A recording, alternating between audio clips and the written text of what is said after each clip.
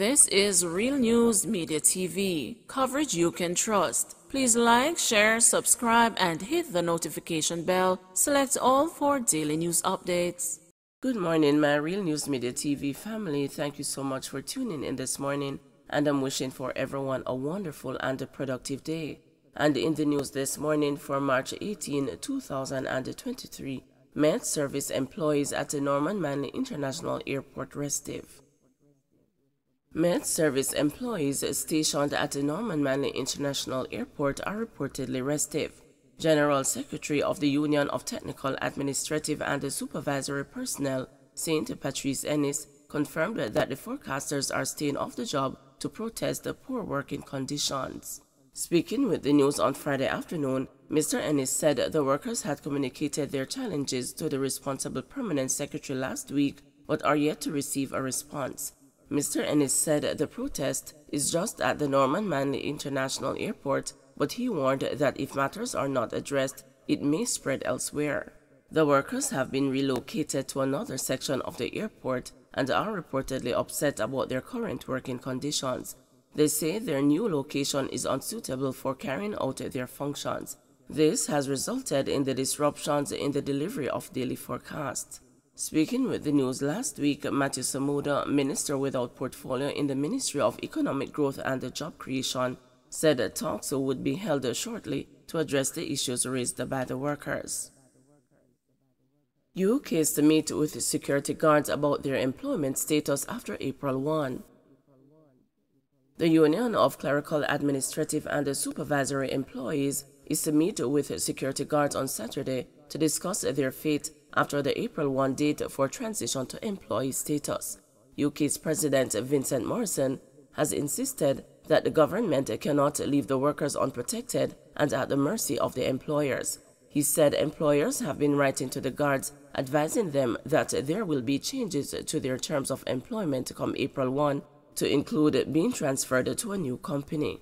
Mr. Morrison said there is still some confusion as to the benefits including vacation leave due to the guards, or whether their past service will be transferred when they are transitioned from independent contractors. But they have not said to them, your services, the past services will be transferred. They have not said anything to them about their legal vacation leave entitlement. So the guards are confused. As a result, they hold a meeting, a mass meeting tomorrow with the guards at our offices to explain them what is the legal position and what ought to have been done. So here again, I am disappointed that the Labour Ministry has not stepped in, called both the, the, the guards and their representatives along with the marketing companies to explain the whole issue. Because we all know that when a company changes its name, or is sold to another company, the workers have rights. And one of that rights is the, the service they have provided to the company. McLean, eager to clear name, says attorney following MOCA raid. Officers from the major organized crime and anti-corruption agency on Friday morning searched the residence of interdicted acting permanent secretary in the Ministry of Education, Dr. Grace McLean. Dr. McLean's premises was one of nine searched as the probe intensifies into allegations of impropriety by the civil servant. Major Basil Jarrett, Director of Communications for MOCA, told the news that the agency and the Financial Investigation Division conducted search and seizure operations at the locations in connection with an ongoing investigation into operations at the Ministry of Education and the Joint Committee for Tertiary Education. Attorney at law Peter Champagnie KC, who is representing Dr. McLean, said his client cooperated fully with the investigators. Mr. Champagnie said his client maintains her innocence and maintains the fact that she did not do anything unethical or illegal, so she is eager to have her name cleared. The attorney noted that the interdiction stems from claims by persons associated with the ministry that regulations were not followed in relation to the transfer of millions of dollars. He said his client had the opportunity to respond to those issues in writing, but is yet to get a response from the relevant authority. Additionally, Mr. Champagnie said there has been no word on the recommendation for a surcharge to be applied to force Dr. McLean to repay the more than $100 million. I spoke to her early this morning and she was indicating that they were there and that, you know, at that time, certainly at that time, there were no complaints in terms of their approach, and there was no complaint from the authorities that there was any hindrance on her part. Her position has not changed. She maintains her innocence and maintains um, the fact that she did not do anything unethical or illegal. So it is a process that is, is underway. I'm not particularly surprised, and we will see where it leads to. And I would want to say that, and I am saying, that my client had an opportunity in writing to uh, respond to all of those issues, and we are yet to hear from the relevant authority in terms of our response. It was a recommendation. It wasn't instituted. It was a recommendation, and an opportunity was given for us to respond in writing as to why it is that there would have been no basis for that recommendation. And we, within the timeline, mm-hmm. responded on her behalf, and to date, we have not gotten a response in relation to that. Cabby's shooting death drives a fear into colleagues.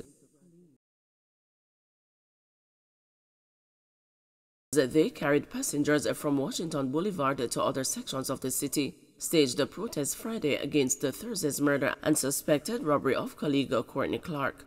The taxi operators who did not hide that they are scared asked for prayers as they spoke of the dangers while transporting passengers. They said close to noon on Thursday, Clark was sitting in his white Toyota Probox motorcar on Washington Boulevard, close to the Boulevard Shopping Center, when gunmen shot him before escaping on foot. A small gathering of Clark's colleagues standing near where he was killed demanded that the gunmen and the thieves stop targeting them. According to a man who gave his name only as Leonard, a taxi operator on the halfway tree to Duhaney Park route, taxi men were scared before Thursday's killing but are now far more afraid than before. Me done scared already and now me extra scared. We are working in fear as we transport hardworking Jamaicans. Lack of knowledge causes you to kill your black brother. Me see the changes in the people. Please not make we be so fearful. It coming like randomly, anyone that we can just dead innocently, he said. The slain cab operator, he said, was loved as no one had anything bad to say about him. We heard that people were trying to rob him and he probably put up a resistance. They shot him and run off. I did not even go back to work after the incident, Leonard said. According to Egerton Newman, president of the Transport Operators Development Sustainable Services, another taxi operator had also been killed Thursday night on Windward Road in Kingston. Newman said it is time now for public transport operators to embrace a cashless system to limit the likelihood of them being robbed. The gunmen are going after cash. Taxi operators keep $10,000 $15,000 and $20,000 in their pockets and between their fingers, and the gunmen know this. We need a cashless system. Since 2008, we have been discussing a cashless system, Newman said. He added, the sector has been turning a blind eye to it and it is hitting home more forcefully now. We have to go look at that and see how best we can work on something. Since the start of the year, we have lost 10 operators. We lost 57 last year, and if we continue on the same trend, we are going to get to over 100 operators by the end of the year. It is not easy to investigate the causes of some of these deaths. If the person was robbed, we consider it a robbery. In most of these cases, the operators were emptied of their cash and their vehicles were taken away. A stakeholder in the public passenger vehicle industry who requested anonymity claimed that there may very well be the possibility that some operators are involved in illegal activities. Some taximen are not as clean as you would anticipate. Some of them are one-day drivers and they are involved in activities otherwise, the source said. Don't forget to like, share, subscribe, and hit the notification bell. Select all for daily news updates.